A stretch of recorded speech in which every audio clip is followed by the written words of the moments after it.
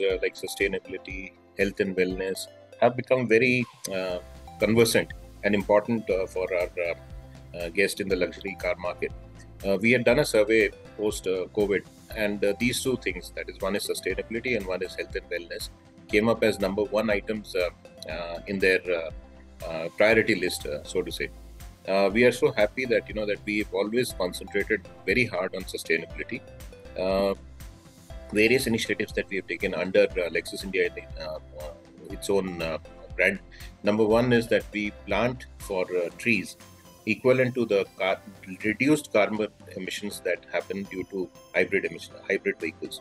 So hybrid vehicles, as you know, run on mostly on electric uh, uh, power which is self-generated, which is generated mm-hmm. while the vehicle is uh, actually running.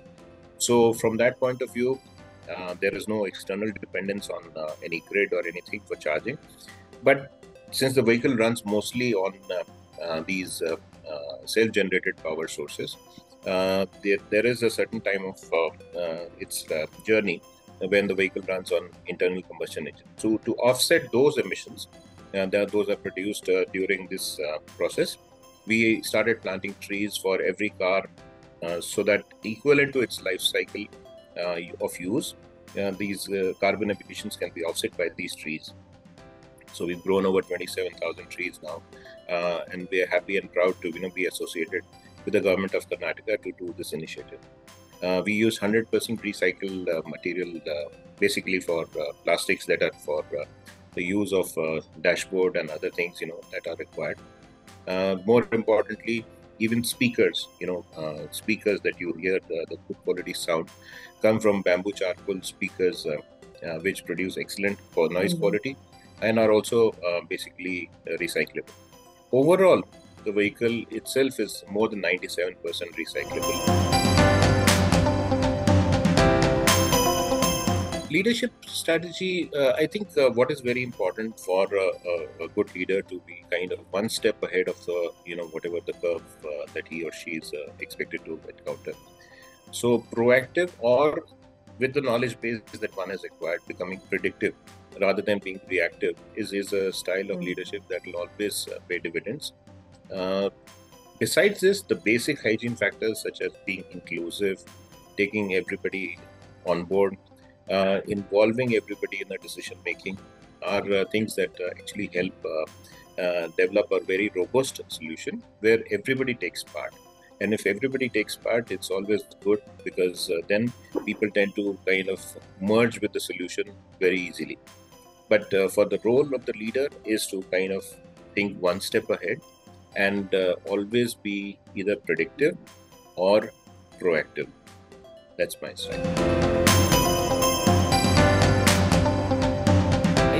Lot has been said or a lot is being said uh, currently around uh, artificial intelligence, machine learning, and things like that. But uh, for us at Lexus, I, I, think what is more important is the human aspect of all of this uh, uh, learning. Uh, there is nothing that can replace human intelligence, is our firm belief. And the, the kind of emo- emotive connect that you bring to the subject using such human intelligence is uh, something that I think will will forge our way ahead. Uh, we have launched various initiatives and various programs. Mm, yes, technology comes as a big enabler in terms of you know supporting you, but the core message, what you want to do, or how you want to do it, uh, may be uh, you know uh, kind of supported, but not led by technology. I think there's an overarching feeling that uh, people are thinking that you know machines will replace humans and artificial intelligence is going to be the way forward, etc., etc. Our opinion is machines will be driven by humans. Machines will be told hmm. what to do, and then they will support humans in taking business uh, decisions. Yeah. I think it's important that you give your mind a certain rest uh, at the end of a very cluttered day when you had, uh, say, Mondays are typically a crazy day to you know, have.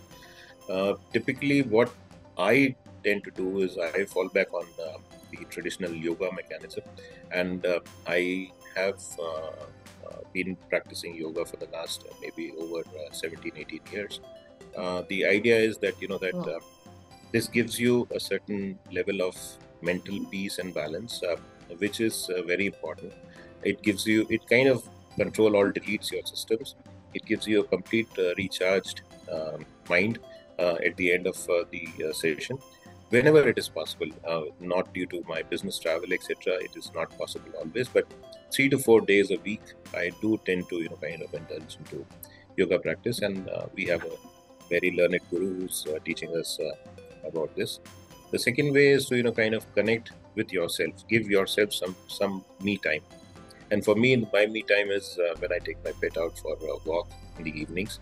And uh, that's the time that i typically reflect on the day that has gone by uh, the good, the bad, the ugly, and prepare myself for the next day so that I can actually uh, take care of uh, whatever business needs that are there uh, for the next day. So basically, it, it's it's always going to be uh, challenging, but at the same time, you have to give space to yourself.